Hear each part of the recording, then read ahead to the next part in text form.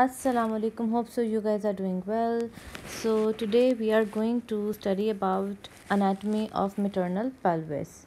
So this pelvis is divided into three parts. There is a pelvic inlet there is a mid cavity and there is a pelvic outlet.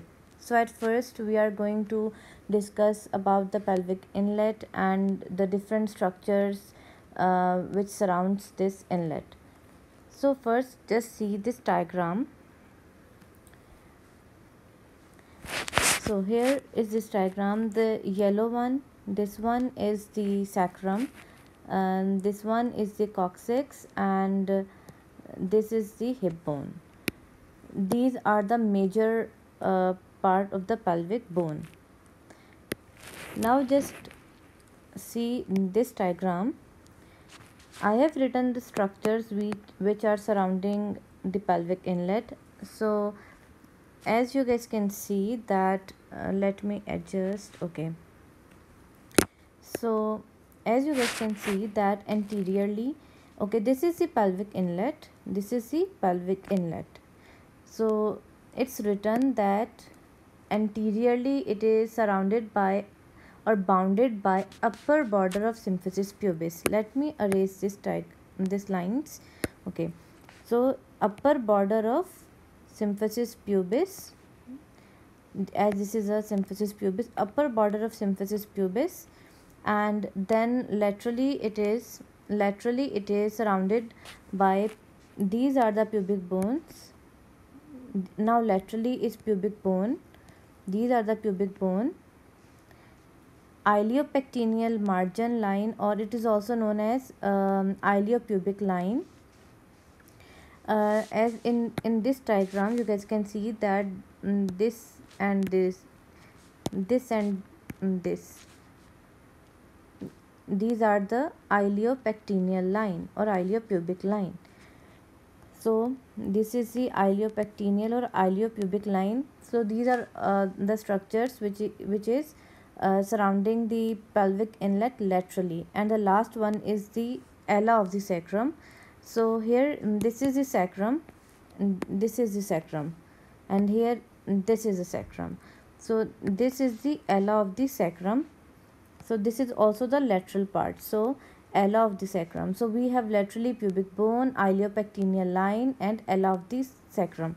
Now only the mm, posterior part is left so posteriorly we have the sacral promontory which is this one.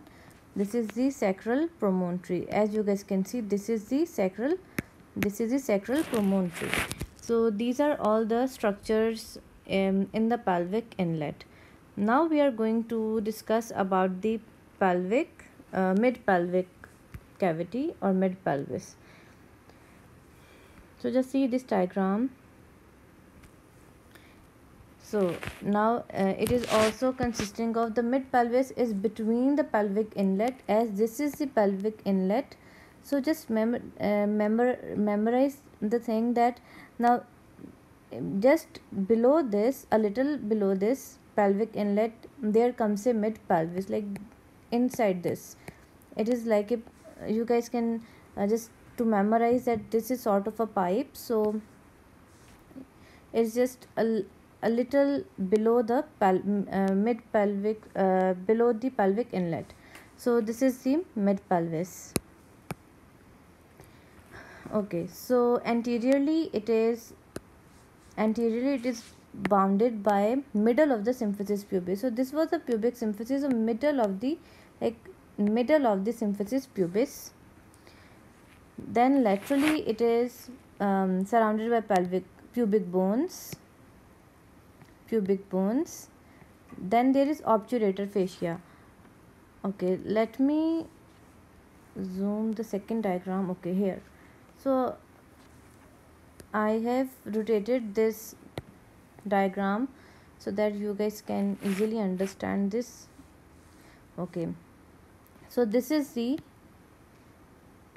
these are the internal obturator muscle also known as obturator fascia so as you guys can see that this is uh, included in the um, mid pelvis. So we have the mid of the pubic bones. We uh, sorry the pubic symphysis. Then we have the uh, these are the pubic bones. This is the pubic symphysis middle of the pubic symphysis then pubic bones. And we also have obturator fascia and inner aspect of ischial spine. So let me erase this. Okay so in just concentrate on this diagram that these are the ischial spines. These are the ischial spines. So it is also included in lateral portion that um, the inner aspect of ischial bones and spines um, is included in the mid pelvis. And posteriorly by the now obviously posterior are the so second and third second and third section of the sacrum posteriorly. So this was the mid pelvis. Now let's move on to so now uh, we are going to discuss about the pelvic outlet. It is also con it also consists of anterior border lateral border and the posterior border. So okay so anterior in anterior border includes the pubic arch so this is the pubic arch lateral border consists of ischial tuberosity and the sacrotuberous ligament. So as in this diagram you guys cannot see the sacrotuberous ligament but laterally it consists of ischial uh, tuberosity and uh, sacrotuberous ligament. And the posterior border consists of the tip of the coccyx or the rest of the sacrum the part of the sacrum which was not included in the mid pelvic cavity. So this was all about the um, pelvis the maternal pelvis. So hope so you guys have understood. And if you guys have understood then do like comment and share. And uh, subscribe my youtube channel. Jazakallah khair and allah hafiz